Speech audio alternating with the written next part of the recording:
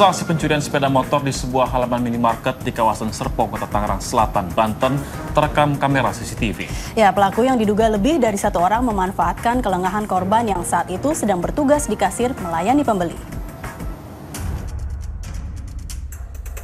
Sebuah sepeda motor jenis Matic milik seorang pegawai minimarket di Jalan Puspitek, Serpong, Kota Tangerang Selatan, Banten. Raib di gondol pencuri yang beraksi di halaman minimarket. Aksi nekat pelaku ini terekam kamera pemantau atau CCTV. Para pelaku yang diduga berjumlah lebih dari satu ini memanfaatkan kelengahan korban yang saat itu sedang bertugas di kasir melayani pembeli.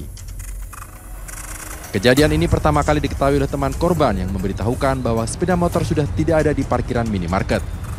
Kalau dilihat dari CCTV, CCTV sih jam setengah tiga pagi hilangnya soalnya kan jam 2 saya ngasirin tuh posisinya lagi agak-agak rame. Pas temen saya keluar ngecek motor ngecek motor dia nih yang yang Mio ini nih. Kemudian katanya dia ngomong gini Wan motor lu ada yang pakai ya? Temen lu ya?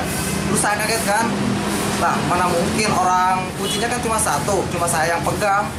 Kemudian saya itu kaget keder nyari motor nyari motor. Pas dilihat CCTV ternyata emang ada yang ngambil dengan kejadian ini, korban pun langsung melaporkan ke pihak kepolisian Tangerang Selatan untuk ditindaklanjuti. Dari Tangerang Selatan, Banten, Andrianto untuk CSI RTV.